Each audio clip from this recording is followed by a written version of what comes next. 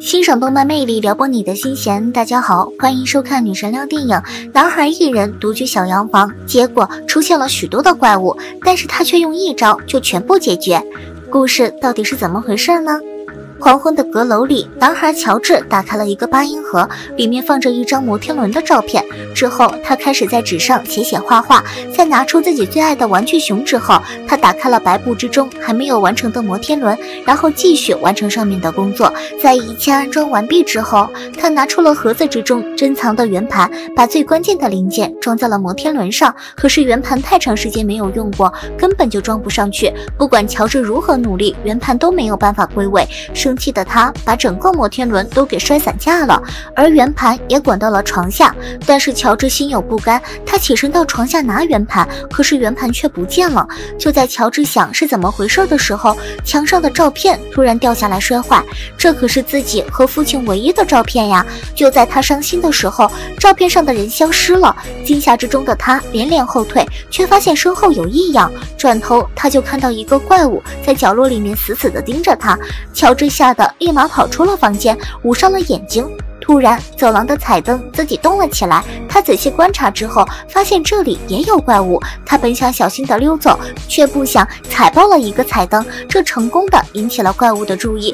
就在他跑到二楼的时候，却发现更多的怪物向着这里袭来。一时之间，他竟然不知如何是好，因为其他的房间的怪物也都围了上来。他们一步步的逼近乔治，最终他们逼着乔治慢慢的来到了房子最上面的阁楼。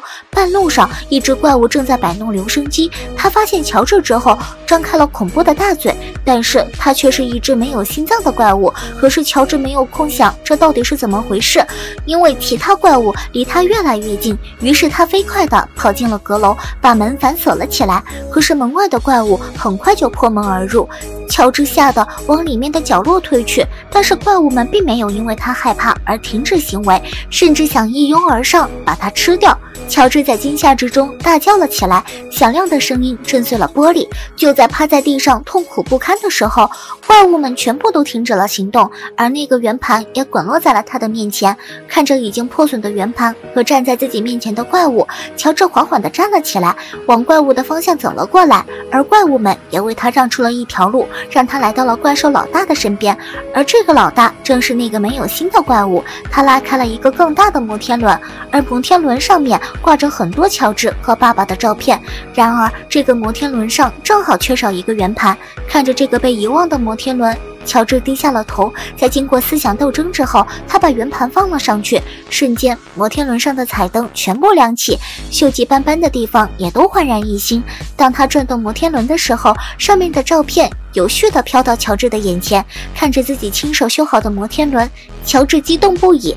原来，摩天轮是父亲教乔治做的，但是父亲却意外地去世了。看着再次转动的摩天轮，乔治仿佛看到了爸爸在自己身边陪着自己，而。身后的怪物们也似乎都得到了救赎，慢慢的消失了。其实这些怪物都是乔治心中的孤独怪。当父亲去世之后，乔治就活在自己的感情世界之中。他一度封存与父亲的记忆，但是他却忘了接受现实才是治愈痛苦的良药。而且接受现实并不代表忘记，而是让父亲永远的陪着自己。感谢收看本期视频，喜欢不要忘记关注转发哦。